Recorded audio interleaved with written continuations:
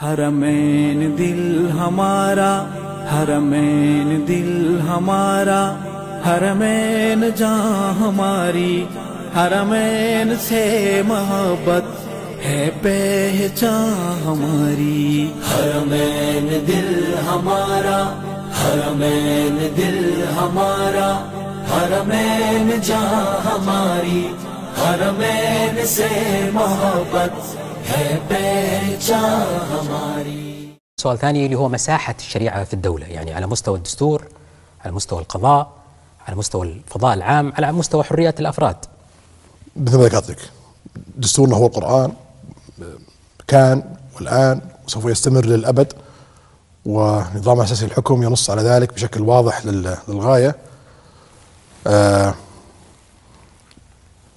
إحنا كحكومة أو مجلس الشورى كمشرع أو الملك كمرجع للسلطات الثلاثة ملزم بتطبيق القرآن بشكل أو آخر.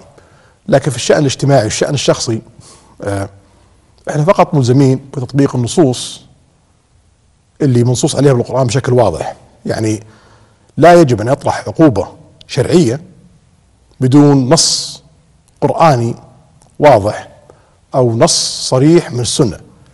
طبعا لما أتكلم عن نص صريح من السنة آه، أغلب المدونين الحديث في تدويناتهم يصنفون الحديث بناء على تصنيفهم الخاص مثل البخاري أو مسلم أو غيره إنه حديث صحيح أو حسن أو ضعيف لكن في تصنيف آخر هو الأهم اللي هو الحديث المتواتر والآحاد والخبر. آه وهو المرجع الرئيسي في استنتاج الأحكام واستنباطها آه من الناحية الشرعية. فلما أتكلم مثلا عن الحديث المتواتر اللي هو يعني من جماعة لجماعة لجماعة لجماعة مجموعة أشخاص يعني عن رسول الله صلى الله عليه وسلم. فهذه الأحاديث قليلة للغاية لكن ثباتها قوي جدا وتفسيرها يخضع للاجتهاد حسب الظرف والمكان وحسب كيف فهم آه هذا الحديث. بينما الآحاد اللي هو فرد عن فرد عن فرد عن فرد عن رسول الله صلى الله عليه وسلم أو جماعة جماعة عن فرد عن جماعة عن جماعة عن رسول الله صلى الله عليه وسلم ففي فرد في الحلقة. فهذا يسمى حديث آه، آحاد. وهذا يصنف أصناف كثيرة منه الصحيح ومنه الحسن ومنه الضعيف.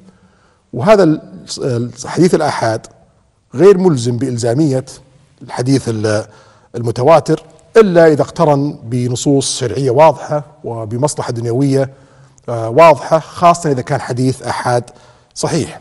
وهذا يشكل أيضا جزء قليل من أحاديث رسول الله صلى الله عليه وسلم. بينما الخبر اللي هو عن فرد فرد فرد فرد ما نعرف عن فرد فرد فرد عن رسول الله صلى الله عليه وسلم أو عن جماعة جماعة فرد فرد ما نعرف عن جماعة فرد رسول الله في صلى الله عليه وسلم. ففي انقطاع. هذا الخبر هو اللي يشكل النسبة العظمى من الأحاديث. هذا بشكل لا يؤخذ فيه لأنه غير ثابت و آه، آه، غير آه، آه، يعني ملزم. الحكومة في الجوانب الشرعية ملزمة بتطبيق النصوص اللي في القرآن وملزمة بتطبيق النصوص في الحديث المتواتر وتنظر الحديث الآحاد حسب صحته وضعفه ووضعه ولا تنظر في الحديث الخبر بتاتا إلا إذا كان تسند عليه رأي في مصلحة واضحة. هرمين دل همارا हरमैन दिल हमारा हरमैन जहाँ हमारी हरमैन से मोहब्बत है पहचान हमारी।